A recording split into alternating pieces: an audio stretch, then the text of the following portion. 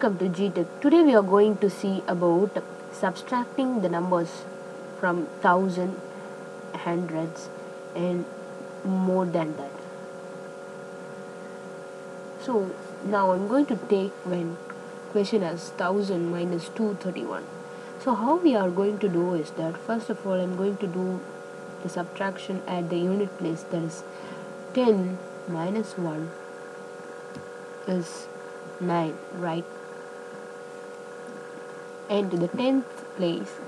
9 minus 3 since it's what borrow it is 9 minus 3 6 and the next step is 9 minus 2 is 7 so the answer is 769 right?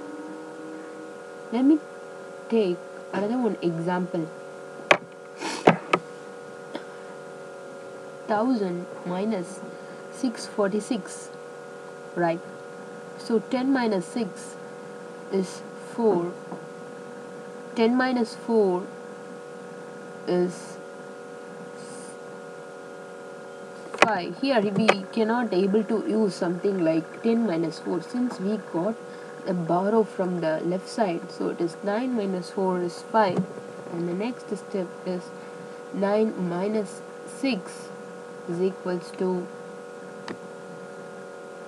3 so the answer is 354 simple right?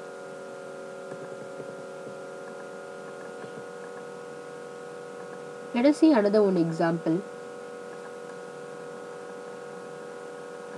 So 10000 minus 2331 so 10 minus 1 is 9 9 minus 3 since I borrowed a value from the left so I'm mentioning it as 9 minus 3 it is 6 again